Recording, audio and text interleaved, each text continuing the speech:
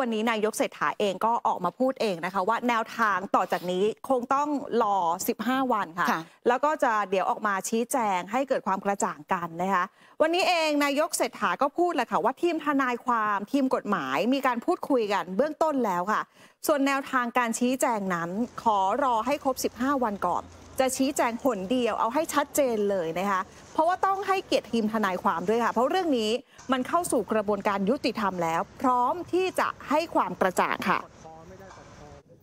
ครับแล้วครับเมื่อเช้าก็เริ่มก็เริ่มต้นมีการคุยแล้วครับ ก่อนที่จะมาที่นี่ครับ ก็มีการพบปะกันแล้วครับ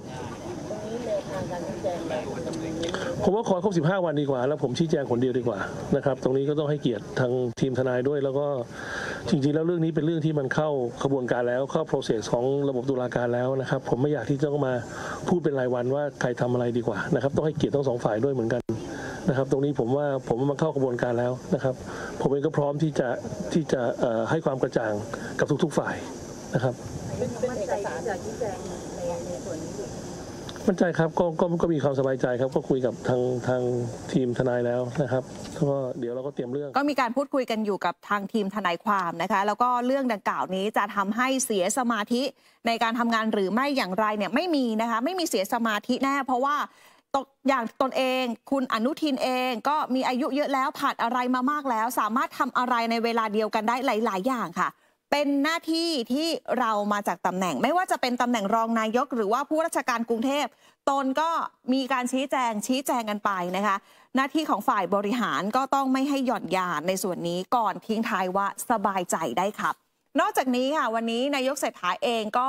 พูดถึงกรณีที่สื่อมวลชนเนี่ยนะคะ ไปสอบถามนายทักษิณนะคะ ที่โคราชว่าณตอนนี้เศรษฐกิจแย่ขนาดไหน แล้วนายทักษิณก็ตอบเรื่องของ GDP ว่าโตแค่ 1.5%และนายกก็ได้มีการเรียกประชุมคอรมอเศรษฐกิจในวันจันทร์นี้นะคะ ผู้สื่อข่าวเลยมาถามนายกเศรษฐาแหละค่ะว่า มีหลายคนที่เป็นคนแนะนำว่าจะมีการประชุมคอรมอเศรษฐกิจ ในวันที่ 27 พฤษภาคมนี้นะคะ และหนึ่งในนั้นคือมีนายทักษิณด้วย แต่ว่านายกเศรษฐาจะตอบแบบไหนไปฟังกันค่ะเขาก็มีหลายคนแนะนำครับท่านอนุทินก็บอกเหมือนกันท่านท่นอนุทินเองก็เป็นห่วงเรื่องเศรษฐกิจเหมือนกันนะครับ เราทำงานกันเป็นทีมอยู่แล้วนะครับ ท่านอนุทินเองก็ก็มาพูดคุยกับผมว่าท่านเองเขาท่านห่วงเรื่องเรื่องเรื่องเรื่องเศรษฐกิจนะครับ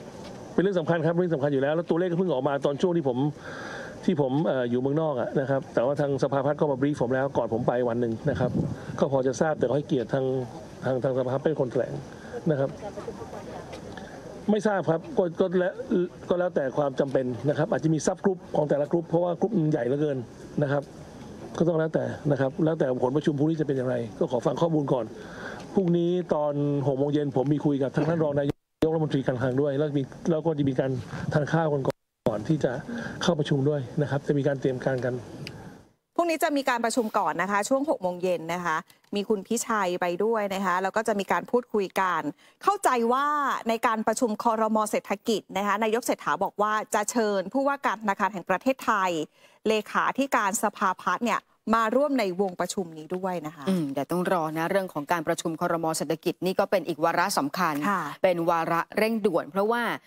เจ็ดแปดเดือนนะที่ทำงานมาเนี่ยภายใต้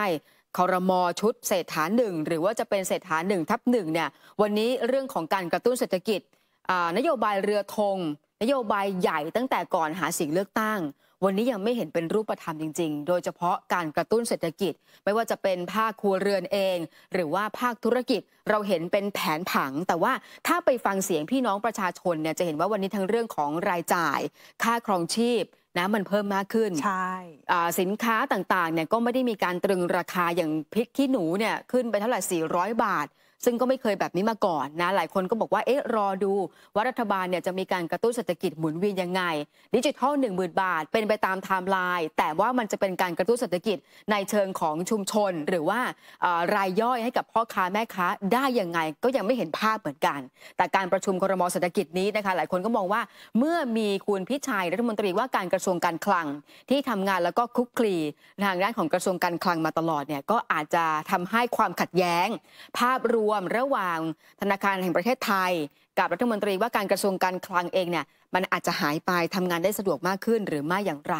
อีกประเด็นเรื่องหนึ่งนะคะเรื่องของแรงงานนะคะตัวเลขที่ทางด้านของกระทรวงแรงงานได้มีการเปิดเผยไปเนี่ยตั้งแต่ช่วงสัปดาห์ที่ผ่านมา จะเห็นว่าการทำงาน 5-6 เดือน ภายใต้กระทรวงแรงงานในการผลักดัน ให้มีคนไทยหรือว่าแรงงานไทย ไปทำงานที่ต่างประเทศโดยถูกกฎหมาย ตัวเลขเนี่ยขึ้นไปถึง 60,000 ด้วยกัน วันนี้นะคะทางด้านของคุณจัดชัยผู้โคกหวาย ผู้บริหารสถานีโทรทัศน์ท็อปนิวส์กรรมการผู้จัดการบริษัทท็อปนิวส์ดิจิทัลมีเดียจำกัด แล้วก็คุณอุดรแสงอรุณบรรณาธิการบริหารเนี่ยเข้าพบกับคุณพิพัฒน์รัชกิจประการรัฐมนตรีว่าการกระทรวงแรงงาน เพื่อถามถึงเรื่องของแนวทาง นโยบายด้านแรงงาน โดยเฉพาะที่จะไปทำงานที่ต่างประเทศ ซึ่งคุณพิพัฒน์เนี่ยตั้งเป้าว่าจะมีการส่งออกแรงงานไทย ไปทำงานต่างประเทศให้ได้1 0 0 0 0แสนอัตราต่อปี แล้วก็มีแผนที่จะไปเจรจากับหลายประเทศ เดี๋ยวจะเริ่มต้นก็คือที่อิสราเอลนะคะ เดินทางวันพรุ่งนี้ในการไปดูแลความเป็นอยู่ สภาพการทำงานความปลอดภัย โดยเฉพาะแรงงานภาคการเกษตร จะมีการไปพูดคุยเจรจาเพื่อขอเพิ่มโคต้าแรงงานไทย ส่วนแรงงานไทยที่ต้องการเดินทางไปเก็บผลไม้ป่า ตามฤดูกาลที่ฟินแลนด์ แล้วก็สวีเดน ก็มีแผนเหมือนกันที่จะไปเดินทางไปพูดคุย เพื่อขอส่งคนไทยไปอย่างถูกต้อง ไม่ต้องผ่านบริษัทเอเจนซี่ไม่ต้องมีการหักหัวคิว ในแถบยุโรปเองเนี่ยก็เตรียมว่าเดี๋ยวจะมีการพูดคุยกับทางด้านของอิตาลี ก่อนหน้านี้เนี่ยผู้นำอิตาลีเนี่ยก็ประกาศชัดเจนอยู่แล้วนะคะว่าในช่วงของฤดูการเก็บเกี่ยว สนใจแรงงานภาคการเกษตร ซึ่งเป็นคนไทย ก็เดี๋ยวจะมีการพูดคุยกันนะว่าเรื่องของการที่จะส่งคนไทยแรงงานไทยไปทำงานอย่างถูกกฎหมาย เงื่อนไขเป็นยังไงบ้าง ตั้งเป้าเอาไว้ว่านอกจากจะให้ได้มากกว่า1 0 0 0 0แสนอัตราก็จะให้สูงมากขึ้นทุกปี มีเป้าสูงสุดที่ปีละ4 0 0แสนอัตรา นี่เป็นเป้าหมายที่ท้าทายมาก แล้วก็มีการสั่งการให้อธิบดีกรมพัฒนาฝีมือแรงงาน อบรม ทดสอบทักษะแรงงานไทยให้สูงกว่าประเทศปลายทาง เพื่อที่แรงงานจะได้ไม่ต้องถูกส่งกลับ หรือว่าหนีหรือว่ากลายเป็นผีน้อย อย่างที่เกิดขึ้นที่แรงงานที่เกาหลีใต้ แต่ทั้งหมดนี้ นะก็ตั้งใจว่าจะผลักดันเพื่อให้แรงงานไทยได้ไปทำงานต่างประเทศ อย่างถูกกฎหมายนี่เป็นนโยบายสำคัญของกระทรวงแรงงาน ภายใต้การดำเนินการรัฐมนตรีว่าการกระทรวงแรงงานที่ชื่อว่าพิพัฒน์รัชกิจประการค่ะก็กระทรวงแรงงานเองจริง ๆ แล้วก็ออกหลาย ๆ แคมเปญนะคะ ที่จะให้ภาคส่วนของแรงงานมา upskill มา reskill ค่ะเพื่อที่จะไปทำงานที่ต่างประเทศอืมได้นะคะ ในหลาย ๆ ภาคส่วน มาดูกันที่กระทรวงอุดมั่งค่ะ เพราะว่าในวันนี้เองเป็นวันแรกนะคะ ที่กระทรวงอุตสาหกรรมเอง เริ่มจะขนกากแคดเมียมค่ะ จากชนบุรีไปที่จังหวัดตากนะคะ คาดว่าช่วงตั้งแต่3ามทุ่มที่ผ่านมานะคะ น่าจะมั่นใจว่าจะขนเสร็จช่วง 17 มิถุนายนนี้ถ้าตามกำหนดการเดิมค่ะ คุณพิมพาทาวิชัยกุลรัมตรีช่วยว่า รัฐมนตรีว่าการกระทรวงอุตสาหกรรมนะคะเปิดเผยค่ะว่า ณวันนี้เป็นวันแรกที่จะเริ่มการขนกากแคดเมียม จากโกดังนะคะอำเภอบ้านบึง จังหวัดชลบุรี เพื่อไปยังโรงพักคอย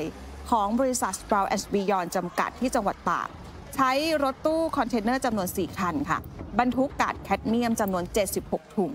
น้ำหนักรวม 120 ตัน ออกเดินทางจากชลบุรีช่วงเวลาประมาณบ่าย3นะคะ แล้วก็นำขบวนโดยรถเจ้าหน้าที่ตำรวจนะคะ คาดว่าจะถึงจังหวัดตากช่วง3ทุ่มค่ะ และในช่วงสัปดาห์หน้าเป็นต้นไปแล้ว จะใช้รถจำนวนอีก 10 คัน ทยอยขนกากโกดังนะคะ จนครบ 4,391 ตัน เพื่อให้ทันตามกำหนดเดิมในวันที่ 17 มิถุนายนนี้นะคะ กระบวนการการขนย้ายนี้เป็นไปตามแนวทางของคณะทำงานแก้ไขปัญหาการขนย้ายกากแคดเมียมกำหนดไว้ทุกประการค่ะ ซ้อนถุงตัวอย่างการตรวจสอบทำความสะอาด การลงระบบติดตาม การตรวจสอบการขนย้าย โดยให้ความสำคัญกับความปลอดภัยต่อประชาชน และสิ่งแวดล้อมเป็นอันดับแรกนะคะสำหรับความคืบหน้าในการปรับปรุงบ่อฝังกลบนะคะ ปัจจุบันอยู่ระหว่างการคัดเลือกที่ปรึกษา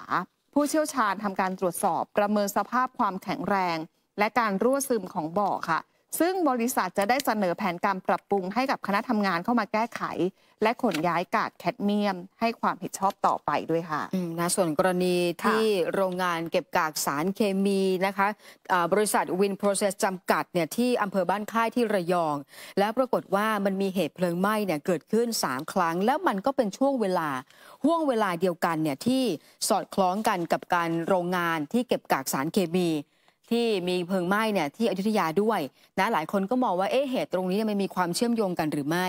วันนี้นะคะพลตรวจโทอาชวนไกลทอง โฆษกประจำสำนักงานตำรวจแห่งชาติ ให้สัมภาษณ์ถึงประเด็นเรื่องนี้นะแล้วก็บอกว่า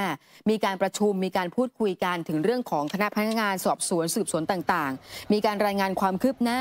แล้วก็กำลังรวบรวมอ่าสำนวนทั้งหมด รวมไปถึงพยานหลักฐาน มีการพิจารณาตั้งคณะกรรมการ หรือว่าตั้งคณะทำงาน ในการทำคดีเพลิงไหม้ด้วยค่ะ